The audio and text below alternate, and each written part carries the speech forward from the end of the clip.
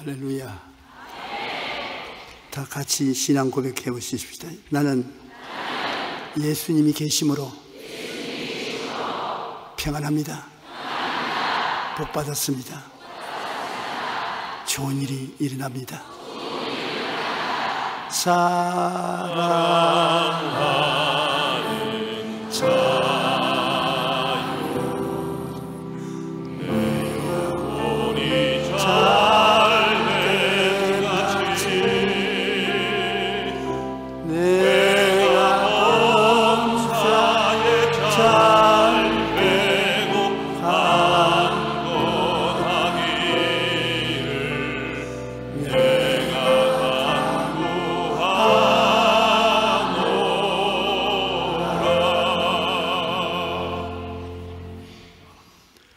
고난을 극복하는 세 가지 길이란 제목으로 은혜를 나누고자 하는 것입니다. 우리가 세상에 태어나서 고고의 울음소리를 내고 어머니 배총에서 떨어져 나올 그때로부터 시작해서 마지막 숨을 거둘 때까지 고난 없이 사는 사람은 없습니다. 모든 사람에게 고난은 있습니다. 좋은 일이 있는가 생각하고 보면 그 배후에는 고난이 있고 고난밖에 없는 줄 생각하고 보니 좋은 일도 있고 항상 밤낮이 같이 바뀌는 것처럼 좋은 일과 고난은 바뀌면서 수레바퀴처럼 우리에게 다가오는 것입니다. 고난에 대한 우리의 태도가 문제지 고난은 어찌할 도리가 없습니다. 다 당하는 것이니까 고난을 당할 때 우리 어떤 태도를 취해야 되겠습니까? 고난이 우리에게 다가와서 걸림돌이 되는 사람이 있습니다.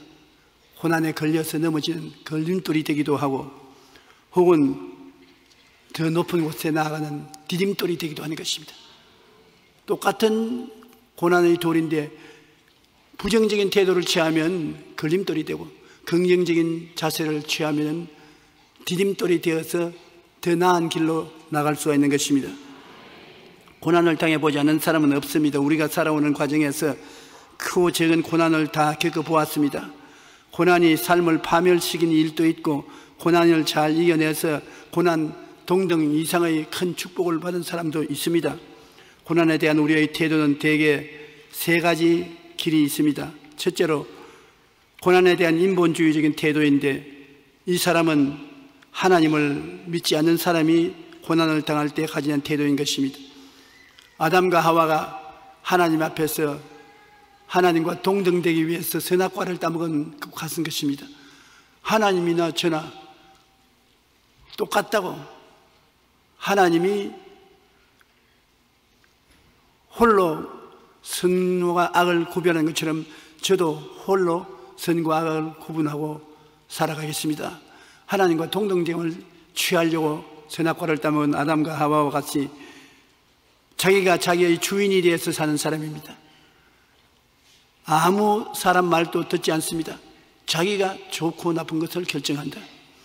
인간의 능력으로 고난과 대결하여 이겨도 상처투성이고 지면 폐가 망신하는 그러한 사람들이 있습니다. 무신론자, 하나님을 믿지 않은 사람, 자기가 자기 주인이 된 사람, 이런 사람은 자기의 능력으로 모든 일을 해결하려고 하다가 배가 망신한 사람인 것입니다. 고난을 자기의 이외 타인의 탓으로 돌리고 항상 원망, 불평, 분노, 정죄가 따릅니다. 내가 잘못했다는 말을 하지 않습니다. 하나님 믿지 않고 자기가 주인이 된 사람은 책임을 다른 사람에게 했는지 미루는 것입니다.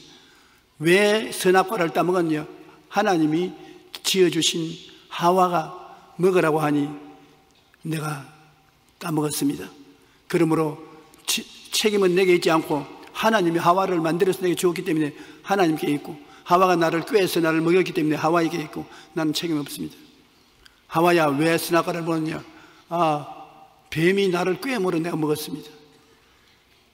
자기에게 책임을 지우지 않습니다. 마음이 깨어진 사람은 자기를 뒤돌아보고 자기의 책임을 느끼고 회개하지만은 그렇지 않은 사람은 다른 사람에게 책임을 다 돌리는 것입니다. 너 때문에지, 내 때문에 그런 것이 아니다. 그 때문에가 굉장히 힘든 말입니다. 우리는 고난이 다가올 때 그 고난이 내 때문에 다 오지 않았나 깊이 살펴봐야 되는 것입니다.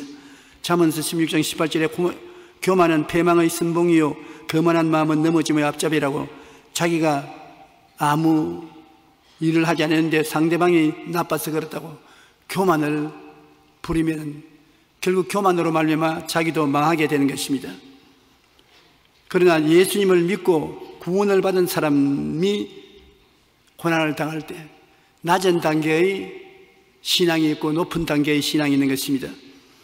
고난에 대하여 낮은 단계의 신앙은 하나님 앞에서 고난을 해결하려고 하되 하나님께 맡기는 신앙이 없습니다.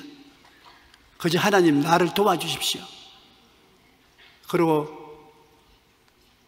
일은 내가 해결하겠습니다. 디엘 무디 선생이 늘 이야기할 때 그 말을 했습니다. 키가 굉장히 크고 몸이 거대한 목사님이었습니다. 그런데 딸내미를 데리고 얼음을 치러 가면은 딸내미 손을 자기가 꽉 잡으면 자꾸 손을 틀어버려요. 내가 그럴 수 있는데 왜 아버지가 자꾸 내 손을 잡느냐? 내 걷는다. 그 아버지가 붙잡아 주면 좋지 않냐? 필요 없다. 그래 얼음 위를 걸어가다가 미끄러져서 꽝 엉뚱발을 찍으면 그 다음에는 응응 웁니다. 그럼 아버지가 손을 잡고서 봐라 아버지가 곁에 있어 잡아주겠다고 하는데 왜 고집을 부리고 가다가 넘어지니 손 내놔 그러면 손가락 하나 딱 내놔요 요것만 잡으면 돼그 손가락 하나 잡아니까 심이 미끄러지니까 또 엉덩반을 찍습니다. 그래서 상처 투성이가 되어야 비로소 그때는 울면서 손을 내놓는데 그러면 아버지가 손을 붙잡는 것이 아니라 온통 전부 안아서 얼음 위를 걸어가게 된다는 것입니다. 하나님께 맡기는 신앙이 아니고 자기 힘을 의지해서 나가는 사람은 기도는 합니다. 하나님 이 고난에 나를 붙들어 주시고 지켜 주십시오. 기도는 하면서 맡기는 법은 없습니다. 하나님께 맡기지 않습니다. 자기가 하나님의 도움은 받았지 하나님께 맡기지는 않는 것입니다. 진심으로 고난에 대하여 인간적인 힘으로 싸우는 것입니다. 그러나 자기가 주체가 되어 하나님의 도우심을 구하니까 하나님께서 마음대로 도울 수가 없는 것입니다. 도우려고 해도 내 뜻대로 하나님이 도와주시지 하나님 뜻대로 나를 끌어가지 마십시오. 그래서 하나님을 자기의 보조관으로 삼았지 하나님을 따라가지 않습니다. 고난에 대처하는 낮은 신앙의 단계는 자기 인본주의가 꽉 서서 하나님을 보좌관으로 삼지 하나님을 따라가지 않습니다. 여러분 하나님은 보좌관이 되지 않습니다. 모세가 40년 동안 광야에서 신앙적인 시련을 겪고 깨어졌습니다. 달, 낡은 사막의 잡초 가시는 굴 안에 불풀이 활활 붙었을 때 모세가 그 앞에 가니까는 그 불길 가운데서 소리가 나서 말하기를 모세야 모세야 내가 선 것은 거룩하니 신발을 벗어라 그 말은 뭐냐면 신발은 자기가 신고 서서 걸어가는 자존심을 말하는 것입니다. 자기 중심의 생활을 말하는 것입니다. 네 중심을 벗어서 하나님께 던지고 의지하라. 자기 신발을 신고서 하나님과 동등하게 같이 서서 대화하려면 하나님이 상대를 하지 않습니다. 이스라엘 백성들은 아들은 신발을 신어도 종은 신발을 벗습니다. 신발을 벗는다는 것은 자기의 주권을 넘긴다는 것입니다. 모세가 하나님 앞에서 신발을 벗어서 던지니까 그때부터 하나님이 주인이 되어서 모세를 이끌어서 이스라엘 백성을 인도에 내게 만들어 준 것입니다. 여리고 평지에 요수아가 났었을 때 한 군대 장관이 칼을 뽑고 요수 앞에 섰습니다. 요수아가 당신은 우리들 원수 편입니까? 우리 편입니까? 그 장군이 말하기를 나는 편들러 온 사람이 아니다. 하나님이 보좌에서 파견되어 나온 하나님의 군대 장관이다. 네 발에 신을 벗어라. 하나님이 군대 장관이 와서도 요수아가 신발을 벗고 자기 주권을 내어 놓았었을 때 여리고성을 무너뜨릴 모든 정치적인 군사적인 방법을 말씀해 준 것입니다. 여러분 하나님은 여러분이 전체 다 맡기든지 안 그러면 전체 여러분이 책임지는지 둘 중에 하나를 택하기를 원하는 것입니다. 반쯤 맡기고 반쯤 안 맡기고 한 은거주춤한 그러한 생활은 원치 않습니다. 오늘 주님은 여러분에게 와서 말씀할 것입니다. 여러분 기도하면 내 신발을 벗어라. 내 주체성, 내 중심의 생각을 벗어서 내게 맡겨라. 살든지 죽든지 흥하든지 망하든지 성하든지 쇠하든지 내게 맡겨라. 그럼 여러분 지시를 맡기면 지금부터 내가 시키는 대로 하라. 하나님의 인도를 받습니다. 하나님, 내가 할 테니까 와서 도와만 주십시오. 나는 보좌 가는 대로 안 왔다. 네 마음대로 해라. 네가 충분히 깨어졌을 때 다시 오마. 그렇게 하실 것입니다. 우리는 고난을 통해서 깨어지면 신발을 벗게 되는 것입니다. 고난은 우리에게 반드시 나쁜 일만 하는 것이 아닙니다. 고난을 극복하는 높은 신앙의 단계를 우리는 배워야 되는 것입니다. 그것은 하나님을 삶의 주인으로 섬기고 모든 고난이 올 때 내 인생을 하나님께 내어 맡겨버리는 것입니다. 굉장히 힘든 일입니다. 물에 뛰어드는 사람이 하나님 앞에 전적으로 맡기면 물이 그 사람을 띄워주는 것처럼 자기는 살든지 죽든지 흥하든지 생하든지 하나님께 내가 맡겨버립니다. 그러면 주님께서 책임져 주시는 것입니다. 하나님을 삶의 주인으로 섬기고 모든 고난도 하나님께 맡겨버리죠. 편안할 때는 참 아멘하기가 쉽습니다. 그러나 진짜 고난이 다가와서 불길이 타오르는데 내가 맡긴다는 것은 참 힘이 듭니다. 그러나 하나님은 그러한 사람을 택하시는 것입니다. 모세가 300만 이스라엘 백성을 데리고 홍해가에 왔는데 군인도 없고 배도 없고 빈손 들고 있으면서 하나님 앞에 전직 맡길 것이냐 그렇지 않으면 돌아서서 애굽 군대에게 항복할 것이냐 기로했었습니다. 백성들은 다 모세야 이곳에 우리는 전멸당한다. 돌아서서 애굽에게 항복하고 나가자. 그러나 모세는 서서 우리 하나님을 바라보자. 오늘 내가 본 이 애굽 군대를 다시는 안 볼 것이다. 하나님이 우리를 위하여 싸운다. 전적으로 하나님께 내가 맡긴 것입니다. 엄청난 담력을 가지고 하나님께 맡긴 것입니다. 모세는 정말 자기 자존심을 다 벗어버리고 자기를 의지하는 모든 지혜와 총명과 모략과 재능과 지식도 벗어버리고 하나님만 바라보고 하나님만 의지했습니다. 그러니까 하나님이 나타나셔서 홍해수를 갈라주신 것입니다. 여러분 하나님께 맡긴다는 것 절대 쉽지 않습니다. 마음속에 엄청난 결단을 내려야 되는 것입니다. 망하면 죽을 각오해야 되는 것입니다. 그런 각오를 하고 하나님 앞에 인생을 맺게 되는 것입니다. 히브리서 2장 18절에 그가 시험을 받아 고난을 당하였은즉 시험 받는 자들을 능히 도우실 수 있다. 예수님께서 할 수만 있거든 이 잔을 내게서 옮기시옵소서. 하나님께 기도드릴 때 얼마나 십자가 걸머지는 것이 어려웠기 때문에 주님은 하나님께 그 잔을 옮겨달라고 했었습니다. 그러나 하나님이 거부하셨습니다. 그러니까 그 잔을 받아 마셨습니다. 우리 먼저 죽음을 내놓은 예수님이시기 때문에 우리가 고난당할 때 주님의 도움을 구하면 주님이 우리 자신을 내놓을 수 있도록 힘을 주신다고 말씀하고 있는 것입니다. 베드로전서 4장 19절에 하나님의 뜻대로 고난을 받는 자들은 또한 선을 행하는 가운데 그 영혼을 미쁘신 창조주께 이택할지어다.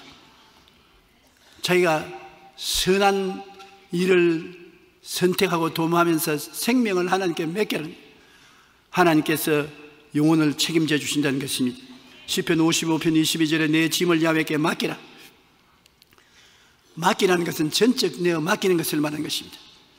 내 짐을 야외께 맡겨라. 그가 너를 붙드시고 의인의 요동함을 영원히 허락하지 아니하시려다. 하나님은 맡은 것을 책임져 주시는 것입니다. 우리는 맡은 것을 책임 못질 때가 많습니다. 하나님은 일단 맡기면 하나님 책임져 주시는 것입니다. 한번 여러분 해 보시라고요.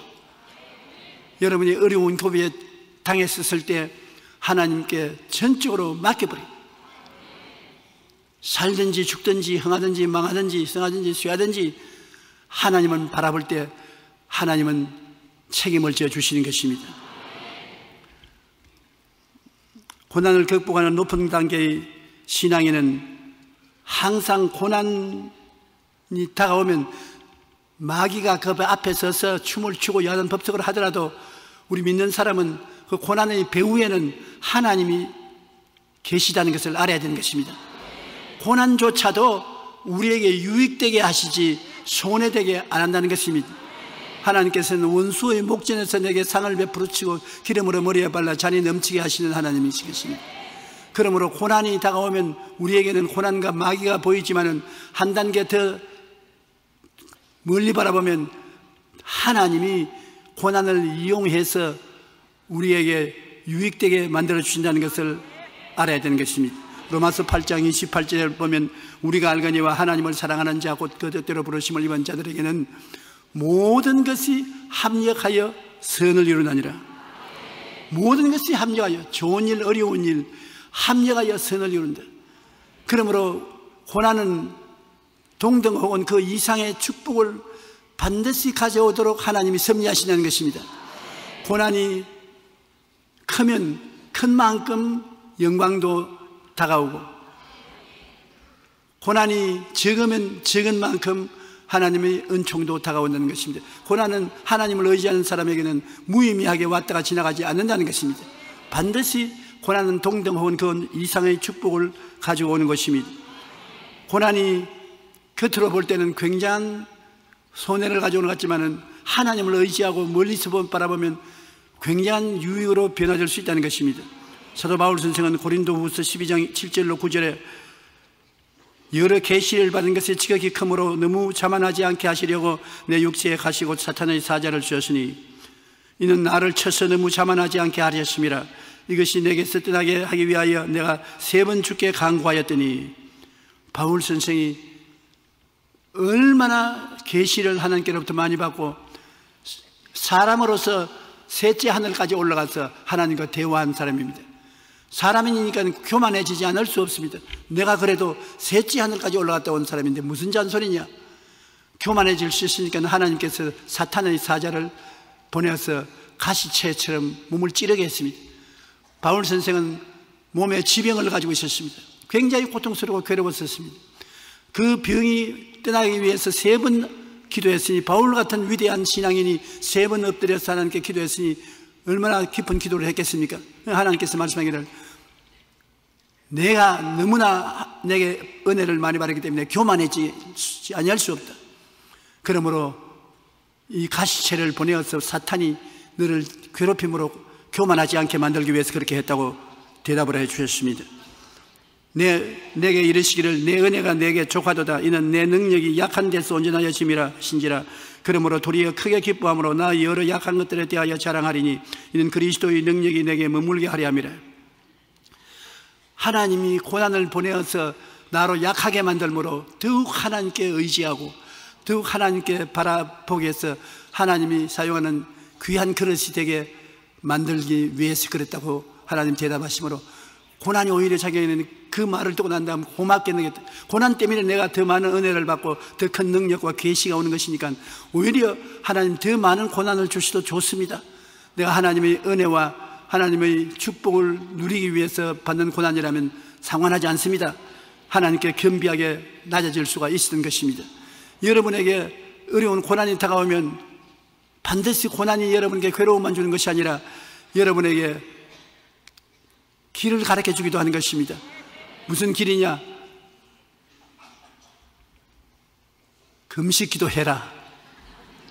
고난이 내게 다가와서 괴로우면 고난만 다가오는 것이 아니라 반드시 고난 없을 때는 내게 아무 말해봐도 소용이 없는데 고난이 다가오면 금식 기도해라. 금식 기도를 하다니죠. 오살리 기도원으로 가라.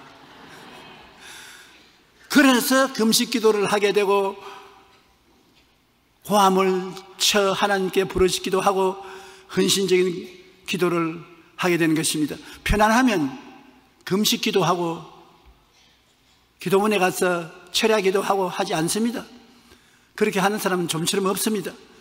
고난에 고통을 당하면 고난을 이기기 위해서 그렇게 기도하게 되는 것입니다. 그러므로 고난의 배후에는 하나님이 가지고 계신 신령한 뜻이 있습니다. 우리는 고난이 다가올 때 하나님이 이 고난을 통해서 나에게 무슨 말씀을 하시려는가 거기서 귀를 기울여야 되는 것입니다. 아무 의미 없는 고난은 없습니다. 반드시 예수 믿는 사람에게는 고난은 의미가 있습니다. 의미 없는 고난이 여러분을 괴롭히지 못하게 하는 것입니다. 우리가 고난이 다가오면 제일 먼저 생각해 볼 것은 내가 하나님께 불순종해서 징계를 받는 것이 아닌가 그 생각을 해야 되는 것입니다. 부모에게 잘못하면 부모가 꾸짖지 않습니까? 옛날에 우리 어릴 때는 우리 어머니 부적갱이가 징계의 채찍입니다. 돌아가서 부엌 앞에서 부적갱이로 장다리를 얻어맞았던 기억이 나는 것입니다. 하나님의 뜻을 알려고 할 때 하나님이 이것은 네가 받아야 될 징계라고 하면은 회개하고 우리가 변화될 수가 있는 것입니다. 히브리서 12장 8절로 10절에 징계는 다 받는 것이거늘 너희에게 없으면 사생자여 친아들이 아니니라. 또 우리 육신의 아버지가 우리를 징계하여도 공경하였거든 하물며 모든 영의 아버지께 더욱 복종하며 살려하지 않겠느냐? 아버지가 너희들 잘 때라고 징계하는데 영의 아버지가 영원히 잘 때라고 징계하지 않겠느냐는 것입니다 그들은 잠시 자기의 뜻대로 우리를 징계하였거니와 오직 하나님은 우리의 유익을 위하여 거의 거룩하심에 참여하게 하시느니라. 무릇 징계가 당시에는 즐거워 보이지 않고 슬퍼 보이나 후에 그로 말미암아 연단받은 자들은 의와 평강의 열매를 맺느니라. 하나님께서는 훗날에 의롭게 되고 더 평강한 열매를 맺을 수 있는 사람이 되고 인격적으로 존경받는 사람이 되기 위해서 채찍을 들어 때리고 몽둥이로 종아리를 때린다는 것입니다. 징계는 우리가 그를 통해서 회개하고 변화받기 위해서 주는 징계라는 것입니다. 징계를 안 받는 사람은 없습니다. 학교에 가서 공부할 때도 선생님에게 징계를 받아야 교육이 되는 것입니다. 요사이나 학교에서 선생이 징계를 못한대요. 학생이 선생님에게 막 달라들기 때문에 징계를 못하는데 우리가 학교 다닐 때는 선생님이 당연히 징계하면 벌벌 떨고 꿇어 앉습니다. 제가 중학교 공부할 때는 중학교에 우리 영어 담당 선생님이 있었는데 그 선생님의 이름이 콩코드입니다. 콩코드라는 것은 문장에 시차가 같도록 만드는 것을 콩코드라는데 이만한 대나무 장대를 어깨에 걸머쥐고 이제 교실에 들어왔어. 숙제 내놓고 콩코드가 맞지 않으면 나오라 해서 때리는데 아이 대나무 막대기를 때리니 얼마나 아픕니까? 그러니 그 선생님 시간에는 죽도록 외워요. 죽도록. 당장 잊어버릴지라도 죽도록 외워요. 그래가지고서 그 선생님의 앞에는 통과가 됐어요. 요사이 돌아보면 그 선생님이 대로 때리던데 그때 외워놓은 거 지금도 알아요. 안 잊어버렸어요. 징계는 좋은 것입니다. 여러분에게 발전을 할 수 있고 향상을 할 수 있게 만드는 것이므로 하나님께서 징계로서 어려움을 주실 때는 회개하고 도와달라고 하면 평강의 열매를 맺도록 도와주는 것입니다. 욥기 5장 11절에 볼지어다 하나님께 징계받는 자에게는 복이 있나니 그런즉 너는 전능자의 징계를 없인 여기지 말라. 우리에게 하나님이 징계가 데려와서 고통 다가올 때 없인 여기지 말고 그 징계를 받아들여서 변화받기를 구하면 내게 큰 유익이 다가온다는 것입니다. 그러므로 징계를 없인 여기지 말라고 말하는 것입니다. 또한 우리가 하나님께로부터 매를 맞을 때 하나님은 회개하라고 때리는 것입니다. 이 세상에 온전히 다 의롭게 사는 사람은 없습니다. 죄를 짓지 않고 의만 행하는 사람은 없습니다. 모든 사람이 죄를 지었으니 하나님의 영광에 이르지 못합니다. 야매는 마음이 상한 자를 가까이 하시고 중심으로 통회하는 자를 구원하는도다. 의인은 고난이 많으나 야외께서 그의 모든 고난에서 건지시는도다. 많은 고난이 있으나 하나님은 고난에서 건지기도 하시고 고난을 당하는 이유가 잘못해서 당하면 징계를 내리시고 회개하도록 꾸짖는 것입니다. 우리가 매를 맞을 때 회개를 합니다. 평안할 때 좀처럼 회개하기가 곤란합니다. 고난은 아플 때 회개하고 변화를 받으려고 애를 많이 쓰게 되는 것입니다. 주님께서는 여러분 신앙이 자랄 때 더 고난을 주셔서 회개케 하는 것입니다. 고난이 없으면 자라는 것이 끝인 것을 말하는 것입니다. 그러나 고난이 있으면 하나님이 아직까지도 인격적으로 변화하기라고 회개를 시키는 것이므로 오히려 장성하게 된 것을 기쁘게 생각해야 되는 것입니다. 요엘서 2장 13절에 너희는 옷을 찢지 말고 마음을 찢고 너희 하나님 야훼께로 돌아올지어다. 은혜 하나님은 은혜로우시며 자비로우시며 노하기를 더디하시며 인애가 크시사 뜻을 돌이켜 재앙을 내리지 아니하시나라 재앙을 안 내리기 위해서 재앙 오기 전에 변화를 받아라는 것입니다. 비가 와서 언덕이 무너지기 전에 복구하고 수리하라는 것입니다 우리 인격적으로 무너지게 된 것을 회개하고 수리해 놓으면 어려움이 있다고 하도 극복할 수 있다는 것입니다. 그러므로 회개하기 위해서 고난을 통해서 우리에게 깨닫게 해주시는 것입니다. 하나님은 고난을 통해서 또한 인내의 훈련을 하여 주시는 것입니다. 우리가 무엇인지 참지 못하면 이기지 못합니다. 어떠한 고난도 참고 어려움도 참고 견디면 승리하게 되는 것입니다. 공부하는 학생이 공부하는 것이 굉장히 괴로워도 이를 참고 계속해서 노력을 하면 그게 통달되게 되는 것입니다.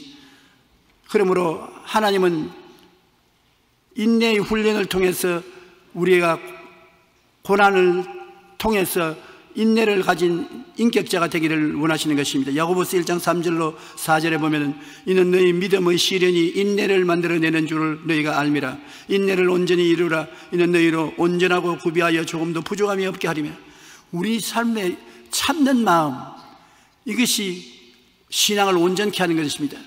참지 못하면은 신앙이 온전하게 되지 못합니다.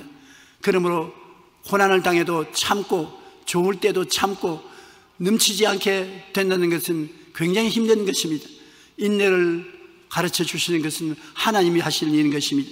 우리 주 예수님께서 십자가에 못 박혀 정 참지 못하고 아이고 나 못 견디겠습니다. 나 내려가야 되겠습니다. 그랬다면 예수님이 십자가에서 내려와 버렸었으면 우리는 구원을 못 받았습니다. 예수님은 인내를 가지고 끝까지 참으셨습니다. 우리의 모든 죄와 불의, 추악과 저주, 절망과 죽음을 다 청산할 때까지 참으셨습니다. 마지막 우리의 빚을 갚았을 때 내가 다 갚았다. 그러고 주님이 세상을 떠신 것입니다. 그렇기 때문에 모든 것이 다 갚아진 거예요. 예수님이 인내가 없었으면 중도에 포기하고 나 내려가야 되겠습니다. 했으면 십자가에서 내려왔었으면 우리는 구원받지 못하는 것입니다. 여러분의 죄가 다 갚아졌어요. 허물도 다 청산되었어요. 여러분의 질병과 고통도 다 청산되었어요. 저주도 갚았어요. 낭패와 실망도 갚고 죽음과 지옥도 갚았어요. 주께서 다 갚아놓고 난 다음에 내 영혼을 주께 맡기나이다. 청산하는 것입니다. 그러므로 오늘날 또 우리에게 하나님께서는 모든 것을 다 청산할 수 있는 인내를 가지고 살아나기 위해서 시련을 겪게 하는 것입니다. 시련을 통해서 여러분 인내가 되면 여러분이 비로소 지역장도 구역장도 장로도 집사도 목사도 책임을 지고 일할 수 있게 된 것입니다. 책임자는 온전히 구비하여 모자람이 없게 되기 위해서 인내해야 되는 것입니다. 인내 없이 성격이 급한 사람은 하나님의 일을 할 수가 없는 것입니다. 인내하는 자가 복이 되는 것입니다. 그 다음엔 신앙이 강해되기 위해서는 시련을 겪어야 되는 것입니다. 요사이 소, 소련 소치 땅에서 올림픽 하고 있지 않습니까? 그 올림픽 때문에 잠을 못 자는 우리 성도들이 많아요. 그런데 그 올림픽 하면 단거리 선수들이 뛰는 것, 그렇지 않으면 올림픽 거기에서 그 춤을 춘다 합니까? 뭐라고 말합니까? 그 볼 때 얼마나 다리의 힘에 힘줄이 강한지 몰라요. 그 다리의 힘이 그렇게 붙어야 단거리도 뛰고 장거리도 뛰고 하는데 그 힘이 하루 만에 붙습니까? 하루 만에 힘이 생기지 않아요. 꾸준하게 열심히 해야 되는 것입니다. 제가 병원에 신체 검사하러 가면 저희 담당 의사 선생님이 항상 날 보고 다리에 힘을 실으십시오. 다리에 힘을 기르십시오. 그래요. 다리에 힘을 어떻게 기릅니까? 매일 만보를 걷든지 안 그러면 아, 령을 들고 세수하고 난 다음 앉든지 이걸 매일같이 하십시오. 그왜 그렇게 해야 되니까 사람은 다리에서 힘이 생기고 다리에서 힘이 빠집니다. 다리에 근육이 힘이 빠지면 저항력이 없어서 다른 병도 다 걸립니다. 그러고 난 다음 나하고 같이 서서 언제 나를 밀어서 자기가 뒷걸음질지 내가 뒷걸음질지 보자고. 근데 지금은 자기가 뒷걸음질 치지요. 왜냐하면 아직 내가 젊은 사람이니까.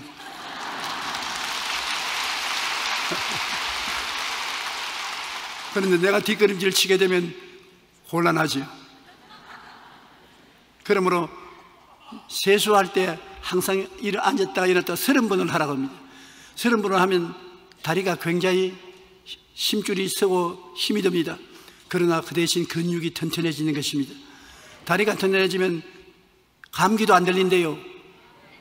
모든 저항력이 생겨서 튼튼하게 살 수 있다고 말하는 것입니다. 신앙도 한 가지인 것입니다. 연단을 받아야 돼요. 어려운 일을 당해서 기도와 믿음으로 어려움을 극복하는 연단을 받아야 나중에 어려운 문제도 척척 해결할 수 있는 것입니다. 로마서 5장 3절로 4절에 다만 이뿐 아니라 우리가 환란 중에도 즐거워하니 이는 환란은 인내를 인내는 연단을 연단은 소망을 이루는 줄 압니다. 시련을 통해서 우리가 믿음이 연단을 받게 되면 환란 같은 것 다가와도 능히 이겨낼 수 있고 소망을 가지고서 살 수 있는 것입니다. 찬송을 부르고 기도하고 이기고 나갈 수가 있는 것입니다. 베드로전서 4장 12절로 14절에 사랑하는 자들아 너희를 연단하려 오는 불시험을 이상한 일 당하는 것 같이 이상히 여기지 말고 오히려 너희가 그리스도의 고난에 참여하는 것으로 즐거워하라. 즐거워할 수가 없지요. 신형 시험과 고난이다 보면 풀이지 즐거워 안 하나님이 즐거워 안 합니다. 그러나 즐거워하는 마음을 가지고 고난을 받아들이라는 것입니다. 이는 그의 영광을 나타내실 때 너희로 즐거워하고 기뻐하게 하리 함이라. 너희가 그리스도 이름으로 치욕을 당하면 복이 있는 자로다. 영광의 영 하나님의 영이 너희 위에 계심이라. 우리가 고난을 당해도 예수 이름으로 욱 참고 이겨나가면 그 영광이 주님 앞에 설때 상급으로 다가오는 것입니다. 마음에 우리가 고난을 참는다는 것은 신앙이 그만큼 자란 것을 볼 수 있는 것입니다 조금만 일만 해도 성을 내고 화를 내고 발부동을 치고 하면 그건 신앙이 자라지 않은 것입니다.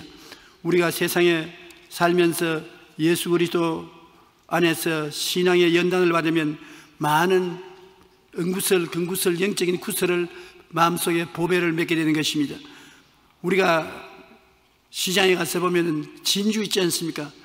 진주가 아름다운데 그 파란 색깔이 흰 색깔에 섞여서 나는 거 보면 굉장히 아름답게 보이는데 진주가 어떻게 만들어지냐?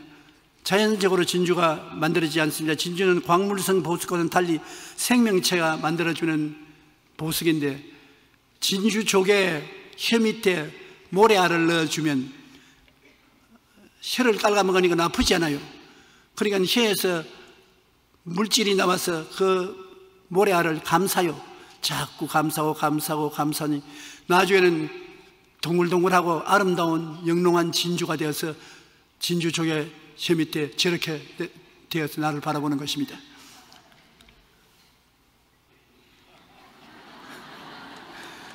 살아있는 보석이에요. 그런데 여러분의 신앙이 진주 쪽에 같이 되는 것을 하나님이 바란다는 것입니다. 하나님이 여러분을 보실 때, 야, 빛난 진주가 반짝거리는구나. 저거 내가 가, 가지고 사용해야 되겠다 그렇게 말할 수 있을 정도로 여러분이 참아야 되는 것입니다. 고난이 다오는 것을 전부 다 참지 않고 변명을 하고 싸우고 원수를 갚고 하면 진주가 될 시간이 없어요. 그러나 고난을 내가 받아들여서 참고 견디면 내 속에서 진주가 되어 나오는 것입니다. 이 세상에 고난을 참는 것보다 더 위대한 신앙은 없습니다. 우리 신앙생활에 가장 존귀롭고 아름다운 것은 무슨 일이 생기는지 내 탓이요라고 하고 내가 깨어지고 내가 참는 것 이것이 보배인 것입니다. 가정생활도 한 가지인 것입니다. 남편이 조금만 참으면은 아내를 수용해주고 가정의 불화가 없어질 수 있는 것입니다. 또 아내는 남편을 조금만 참고 이해해주면 변화될 수가 있는 것입니다. 참고 견딘다는 것 이것이 가정의 평화를 가져올 수 있는 절대적인 요건이 되는 것입니다. 깨어지지 않은 사람은 참지 못합니다. 대항합니다. 싸웁니다. 깨어져야 마음속에 진주가 생겨나는 것입니다. 이러므로 우리는 진주는 광물성 보석이 아니라 생명체가 만들어낸 보석이므로 우연히 생기는 것이 아니라 내가 오래 깨어지고 참은, 참으면 아름다운 진주가 되는 것입니다. 고난으로 인해 고통과 아픔을 겪지만 고난은 하나님의 뜻이 있음을 인정하고 잘 극복하면 오히려 신앙의 성숙을 가져오게 되는 것입니다. 우리가 고난에 다가오면 고난에 대해서 긍정적인 태도를 취해야 되는 것입니다. 어떤 긍정적인 태도를 취합니까? 고난이 다가오는데 긍정적인 태도는 무엇입니까? 그건 다른 것이 아니라 이 고난이 내게 좋게 해준다고 생각하는 것이 긍정적인 태도인 것입니다. 고난을 다가올 때 일부러 좋은 일이 있느냐 없느냐를 따지고서 알아보는 것이 아니라 긍정적인 태도라는 것은 많은 고난이 다가오는데 사람들은 고난 때문에 원망하고 불평하고 탄식하고 울고 가슴을 채야 될 곳에 여러분이 기도할 때 이 고난조차 하나님이 내게 유익되게 할 줄 믿습니다. 고난을 하나님 통해서 내가 더 나은 내일을 얻게 하여 주시옵소서. 이것이 고난에 대한 긍정적인 태도인 것입니다. 고난을 당한 것이 유익이 된다는 것을 우리가 잊지 말아야 되는 것입니다. 하나님께서는 원수의 목전에서 상을 베푸시고 기름을 부어 자리 넘치게 해주시는 하나님이기 때문에 우리가 인내하고 참으면 반드시 우리에게 좋은 일이 다가오는 것입니다. 요 한 이태 동안에 저는 50년의 목회 생활을 해오는 중에 가장 어려운 고난을 겪었습니다. 시련을 겪고 고통 속에 있었습니다만 제가 여태까지 신앙해온 중에 가장 하나님이 제게 유익된 날, 날을 주었다고 생각합니다. 마음에 많은 고통이 다가오고 내가 변명을 하고 싶고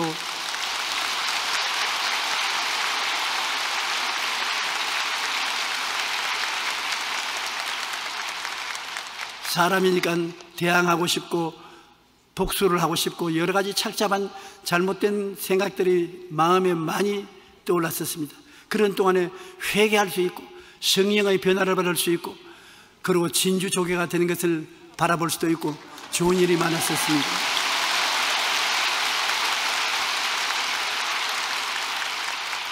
제가 고난을 당하는 동안에 우리 성도 여러분들께서 저를 위해서 많이 기도해 주신 것을 제가 알고 있습니다.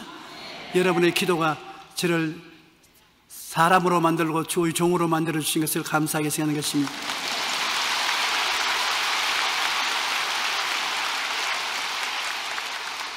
저는 이 고난을 통해서 하나 배운 것은 아무것도 소유하지 말아야 되겠다는 것입니다.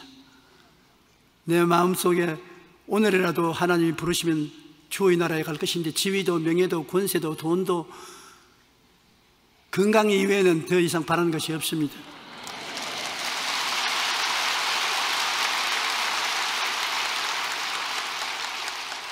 그리고 우리가 살아가는 모든 길에서 조그마한 일도 하나님께서 다 좋게 만들어 주실 것이니 이 시험과 환란도 저에게 크게 좋게 만들어 줄 줄 믿기 때문에 긍정적으로 대할 수가 있는 것입니다.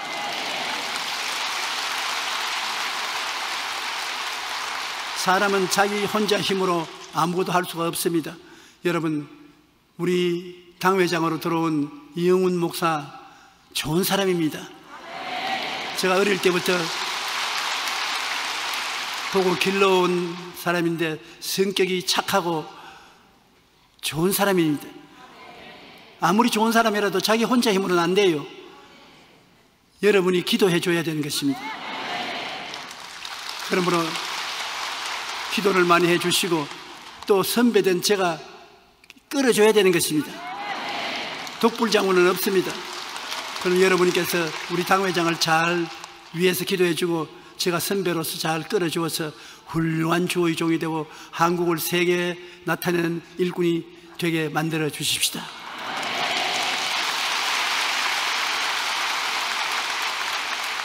시편 119편 71절에 고난당한 것이 내게 유익이라 이로 말미암아 내가 주어 윤례들을 배우게 되었나이다. 고난은 긍정적인 태도를 취하면 유익이 된다는 것을 잊지 말아야 되는 것입니다. 로마서 8장 18절에 생각건대 현재 고난은 장차 우리에게 나타날 영광과 비교할 수 없도다. 고난은 반드시 그 배우의 영광을 주는 것입니다. 영광은 고난보다 견줄 수 없이 큰 영광이 된다는 것입니다. 영국의 국무총리였던 윈스턴 처치일은 비관론자는 매번 기회가 찾아와도 고난을 본다.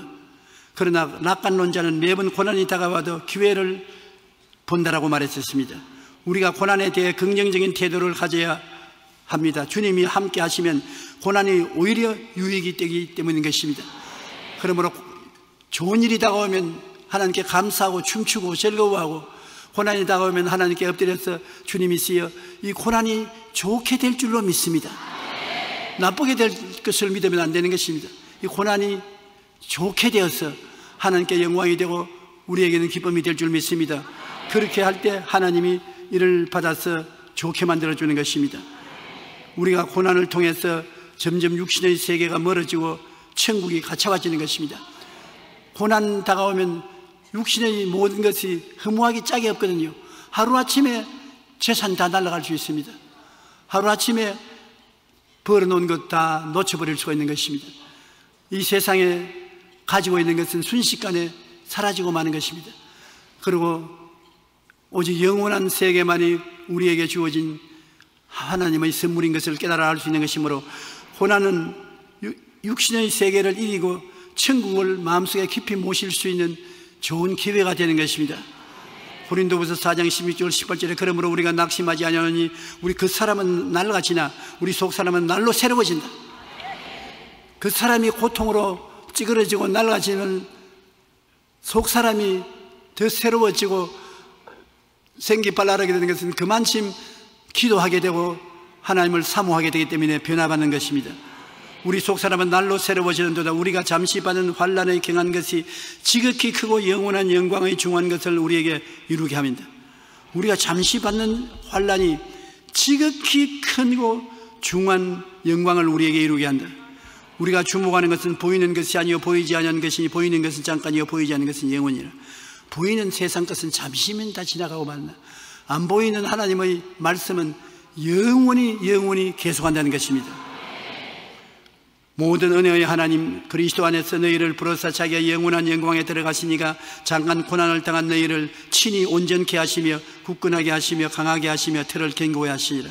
고난을 통해서 하나님이 직접 우리를 견고, 온, 온전하게 만드시고 굳건하게 만드시고 강하게 만드시고 견고하게 만들어서 영혼이 잘 되고 범사에 잘 되며 강건하고 흔들리지 않은 사람으로 만들어 주시는 것입니다 그러므로 우리에게는 좋은 일은 좋아서 좋고 나쁜 일은 좋게 만들어 줄 것이니 좋습니다. 이것이 긍정적인 태도인 것입니다. 한번 따라 말씀해주세요. 좋은 것은 좋아서 좋고 나쁜 것은 좋게 만들어 줄 것이니 좋다. 그러므로 감사와 찬양밖에 없는 것입니다. 그러한 긍정적인 태도를 가지게 되면 하나님은 여러분을 크게 기뻐하시고 여러분에게 상을 주실 것입니다. 고난은 피할 수 없으나 고난을 대하는 태도는 여러 단계가 있다는 것을 우리가 알아보았었습니다. 옳은 태도를 가지면 고난은 크게 유익된 훈련이 되지만 잘못된 태도를 가지면 심신에 깊은 상처를 가져오게 되는 것입니다.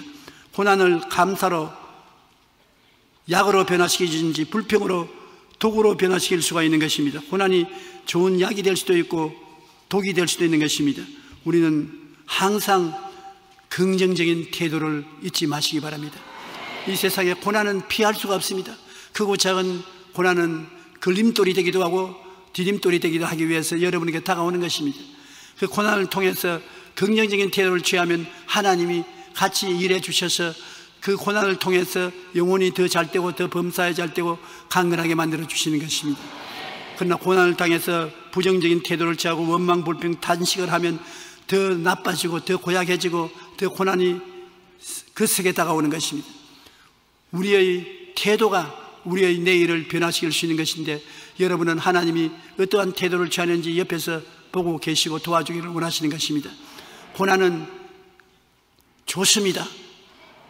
좋은 것을 가져오기 위해서 인격적으로 연단해 주시고 징계해 주시고 강하게 만들어 주시는 것입니다.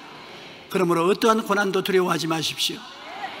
하나님께서는 긍정적인 태도를 취하는 사람을 통해서 좋게 만들어 주시는 것입니다. 고난은 좋은 것입니다. 좋은 것은 더 좋은 것입니다.